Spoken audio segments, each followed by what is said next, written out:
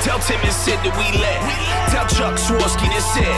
This the best feeling in the world when it's all on the line and you never gon' quit.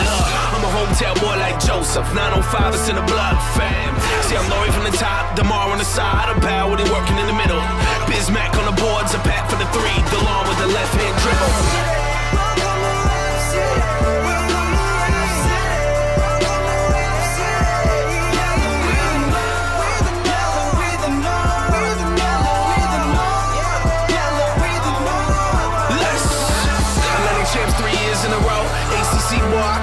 show.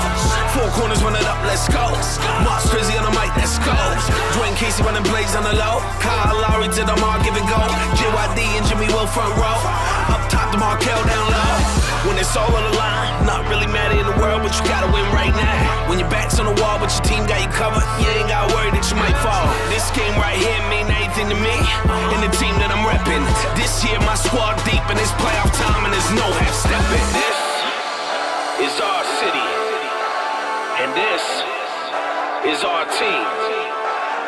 This is our year. Welcome to the NBA playoffs.